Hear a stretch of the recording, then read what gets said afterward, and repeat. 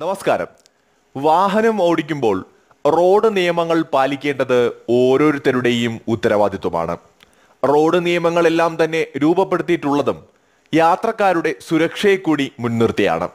അതുകൊണ്ട് തന്നെ ബൈക്ക് ഓടിക്കുന്നവർ നിർബന്ധമായും ഹെൽമറ്റ് വയ്ക്കണമെന്നും അതുപോലെ കാർ ഓടിക്കുമ്പോൾ കൃത്യമായി സീറ്റ് ബെൽറ്റ് ധരിക്കണമെന്നുമൊക്കെയുള്ള നിയമങ്ങൾ ഉള്ളത് ആ വാഹനങ്ങളിൽ സഞ്ചരിക്കുന്നവരുടെ സുരക്ഷയ്ക്ക് വേണ്ടി തന്നെയാണ്. പലപ്പോഴും ഇതൊന്നും പലരും പാലിക്കാറില്ല എന്ന് മാത്രം.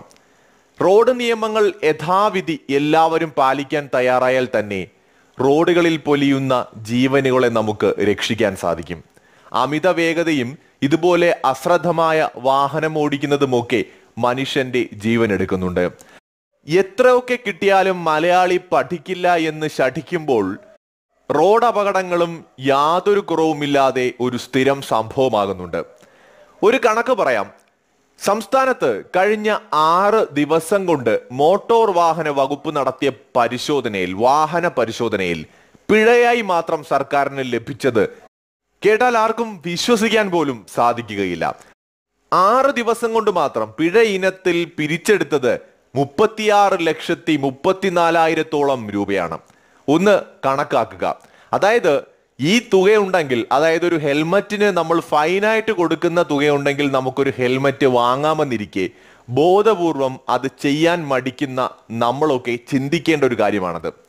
ഗവൺമെന്റിനെ സംബന്ധിച്ചിടത്തോളം ഫൈൻ ഈടാക്കുന്നത് കൊണ്ട് അവർക്ക് ഒരു തരത്തിൽ നേട്ടവുമാണ്. പക്ഷേ ഗവൺമെന്റ് ഒരിക്കലും ഇത്തരം കാര്യങ്ങൾ ചെയ്യുന്നത് അതിൽ നിന്ന് എന്തെങ്കിലും ലാഭമുണ്ടാക്കാൻ അല്ല എന്ന് ഇനിയെങ്കിലും മനസ്സിലാക്കണം പൗരന്മാരുടെ ജീവൻ രക്ഷിക്കാൻ വേണ്ടി തന്നെയാണ് ഇത്തരം നിയമങ്ങൾ ശക്തമാക്കുന്നത്. ഫൈൻ ഇത് കുറവാണെന്ന പക്ഷക്കാരാണ് ഇപ്പോഴും ഞങ്ങളൊക്കെ. കാരണം ആദ്യം സെൻട്രൽ ഗവൺമെന്റ് കൊണ്ടുവന്നതുപോലെ ഭീമമായ ഫൈനാണ് സംസ്ഥാനത്തുണ്ടാകേണ്ടത്. എങ്കിൽ മാത്രമേ നിയമങ്ങൾ പാലിക്കപ്പെടൂ എന്നതാണ് ഇവിടുത്തെ അവസ്ഥ. വളരെ ചെറിയൊരു സംസ്ഥാനത്ത് നാല് കോടിയോളം ജനങ്ങളും അതുപോലെ തന്നെ അത്രത്തോളം തന്നെ വരുന്ന വാഹനങ്ങളും ഉണ്ടെന്നാണ് തോന്നുന്നത്. കാരണം റോഡിൽ ഇറങ്ങിയാൽ എവിടെ നോക്കിയാലും വാഹനങ്ങളാണ്. വാഹനങ്ങളില്ലാത്ത ഒരു സ്ഥലവും നമുക്ക് കാണാൻ സാധിക്കില്ല. വളരെ ചെറിയ റോഡുകളിൽ ഉൾക്കൊള്ളാവുന്നതിനും അപ്പുറം വാഹനങ്ങൾ ഉള്ളതാണ് നമ്മുടെ സംസ്ഥാനമൊക്കെ നേരിടുന്ന പ്രശ്നം. ഈ അവസ്ഥയിൽ നിയമങ്ങൾ കൂടി പാലിക്കാതെ വാഹനം ഓടിക്കുകയാണെങ്കിൽ സ്വാഭാവികമായും വലിയ വലിയ അപകടങ്ങളായിരിക്കും കാത്തിരിക്കുക. അതുകൊണ്ട് തന്നെയാണ് ഗവൺമെന്റ് സ്ട്രിക്റ്റ് ആയിട്ടുള്ള നടപടികൾ സ്വീകരിക്കുന്നത്. പക്ഷെ എന്നിട്ട് പോലും അതിവിദ്യാ സമ്പന്നരെന്ന് നടിക്കുന്ന വലിയ സംസ്കാര സമ്പന്നരെന്ന് നടിക്കുന്ന മലയാളികൾ ഈ നിയമങ്ങൾ പാലിക്കാൻ പോലും തയ്യാറാകുന്നില്ല എന്നത് വളരെ ദുഃഖകരമായിട്ടുള്ള ഒരു സംഭവമാണ്. ഡിസംബർ രണ്ട് മുതൽ തുടങ്ങിയ പരിശോധന കണക്കുകൾ അനുസരിച്ച് ഹെൽമറ്റ് ധരിക്കാത്തതിന് ശനിയാഴ്ച വരെ അയ്യായിരത്തി ഒരുന്നൂറ്റി തൊണ്ണൂറ്റി രണ്ട് പേരെയാണ് പിടികൂടിയത്. ഇതിൽ രണ്ടായിരത്തി അഞ്ഞൂറ്റി എൺപത്തി ആറ് പേർ പിൻസീറ്റ് യാത്രക്കാരാണ്. സീറ്റ് ബെൽറ്റ് ധരിക്കാത്തതിന് തൊള്ളായിരത്തി ഒന്ന് പേരാണ് പിടിയിലായത്. എൺപത് ടൂറിസ്റ്റ് ബസ്സുകളും പരിശോധനയിൽ കുടുങ്ങി എന്നും റിപ്പോർട്ടുകളുണ്ട്. പുതുക്കിയ മോട്ടോർ വാഹന നിയമത്തിൽ നിന്ന് വിഭിന്നമായി കേരളം പിഴത്തുകയിൽ കുറവ് വരുത്തിയത് തന്നെ ആദ്യത്തെ തെറ്റാണ്. ഒരു തരത്തിലുള്ള കുറവും പാടില്ലായിരുന്നു. നിയമം ലംഘിക്കുന്നവർക്ക് ഇളവുകൾ ആവശ്യപ്പെടുവാനോ നൽകുവാനോ യാതൊരു അർഹതയുമില്ല എന്ന് ഉത്തമ ബോധ്യം ഗവൺമെന്റിനെങ്കിലും ഉണ്ടാകേണ്ടിയിരുന്നു. ഒരു തരത്തിലും നിയമം ലംഘിക്കുന്നവർക്ക് പിഴ ഇനത്തിൽ ഇളവ് നൽകാൻ പാടില്ലായിരുന്നു. എന്നിട്ട് പോലും ഇളവ് നൽകിയിട്ട് പോലും ഇത്രത്തോളം പേര് പിടിയിലാവുക എന്ന് പറയുമ്പോൾ ഒന്ന് ചിന്തിച്ചു നോക്കുക. ഇപ്പൊ കേരളം മുഴുവൻ ഓടി നടന്ന് മോട്ടോർ വാഹന വകുപ്പ് പരിശോധനയൊന്നും നടത്തിയിട്ടില്ല. ചില സ്ഥലങ്ങളിൽ മാത്രം നടത്തിയ പരിശോധനകളിലാണ് ഇത്രയും പേര് കുടുങ്ങിയത് എന്നുകൂടി മനസ്സിലാക്കുമ്പോഴാണ് എത്രമാത്രം നിയമ ലംഘനങ്ങളാണ് നമ്മുടെ റോഡുകളിൽ ദിവസവും നടക്കുന്നതെന്ന് മനസ്സിലാവുക.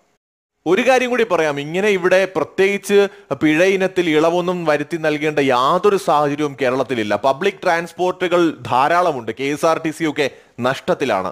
പ്രൈവറ്റ് വാഹനങ്ങൾക്കും യാതൊരു കുറവുമില്ല. പ്രൈവറ്റ് ബസ്സുകളടക്കം ധാരാളമുണ്ട്. അതുകൊണ്ട് തന്നെ എല്ലാവർക്കും വാഹനമുണ്ടെങ്കിൽ മാത്രമേ സഞ്ചരിക്കാൻ കഴിയൂ എന്നൊരു സാഹചര്യമൊന്നും കേരളത്തിലില്ല.